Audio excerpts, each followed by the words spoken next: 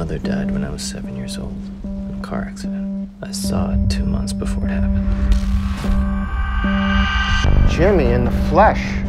So how's life? It's day to day, you know. I'm James. Angela. I got a proposition for you.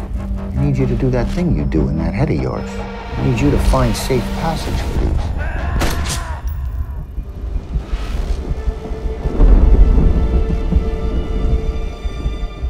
Saw my dad.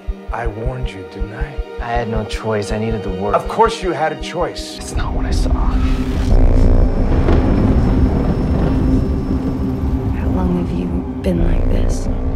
It's more of an affliction, sadly. You make it sound like a disease.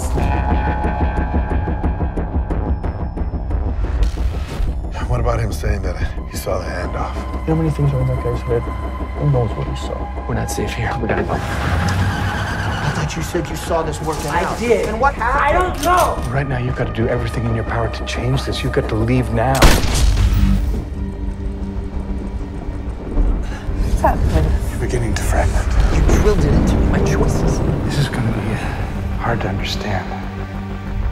Maybe it's time you learned the truth about your condition.